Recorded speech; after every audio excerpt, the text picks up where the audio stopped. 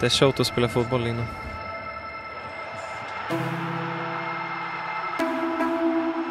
Jag føler meg god. Jeg har vært med sånn, dedikeret i lang tid, og jeg har arbeidet målrettet. Jeg syns selv jeg er professionell i det jeg lever, og til sist så får man resultat. Så det, det, er, sånn, det er sånn det er. Det er deilig å kugga en forskjell, forholde og ja. Leve noen assist eller mål, det er alltid deilig.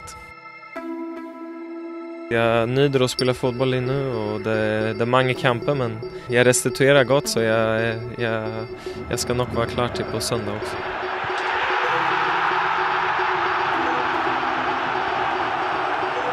Bengtsson har varit god också, han glömmer vi lite. God inlägg. Stort set altid. Og et fint oplæg fra Bengtsson selvfølgelig også. Han skal også krediteres her.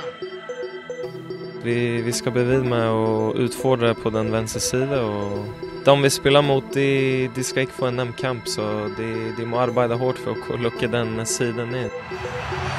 Scoring af den 31-årige svensker. Det er bare femte gang i sin Superliga-karriere, han gør det. Vi kan bygga på, alltså vi med Selvo som håll, vi, vi är ikke eh, helt i, sån, i toppform hvis man ser till halvfems minuter i kamperna. Vi, vi ska stävja göra det bättre och vi kan också vara ännu mer farliga i fler situationer i kampen. Det har varit en god tid, men eh, för mig personligen och showt att spela på landshåll igen. Men självklart så har vi mistat någon poäng i, i den danska ligan som inte har varit gott nog. Så, så ja, jag ser också fram till kampen nu på söndag.